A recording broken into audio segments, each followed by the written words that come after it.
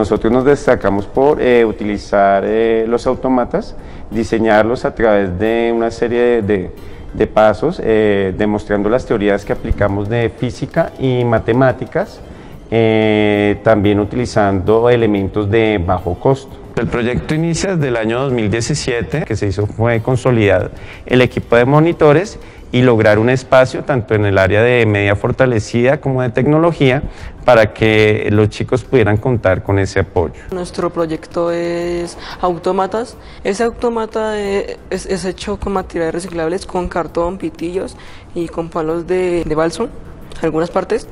Eh, este muñeco puede caminar, en, línea recta y en circular. Y, también hay, un soporte que es una pila para que se pueda nivelar el robot y tiene un cable para que pueda caminar. El proyecto es interdisciplinar, entonces trabajamos lo que es matemáticas y tecnología a primera instancia. También interactuamos con la área de ciencias y de medida integral. Iniciamos a participar en eventos en el año 2017 llevando la ponencia Ingeniería Robótica. En esa ponencia pues relacionamos los conceptos que son bases para la robótica y cómo intervienen estos en lo que son prótesis para personas con discapacidad y también para deportistas olímpicos.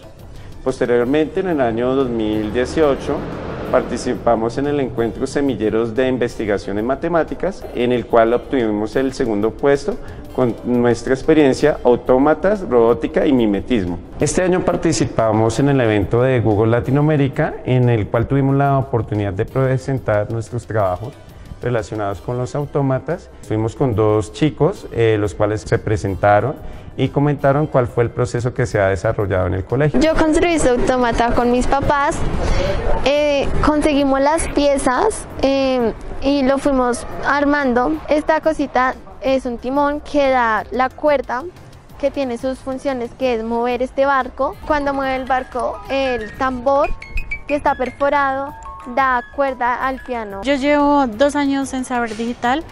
Es una experiencia muy grata participar en este proyecto, ya que pocos son los que pueden participar. Nosotros trabajamos los autómatas porque porque creemos que es la base para iniciar un proyecto más grande a futuro. Me parece muy bueno la implementación de la tecnología en los colegios ya que nos permite crear bases más avanzadas para el aprendizaje. Estamos muy agradecidos con el programa Saber Digital, ya que nos han brindado una serie de capacitaciones, no solamente a los estudiantes, sino también a los docentes y personal administrativo. Y pues la idea es ahora, en este año, ya ingresar a, lo que es la robótica como tal. Pues aparte de eso, pues seguir con, con ustedes contando con todo lo que puedan aportarnos en la institución.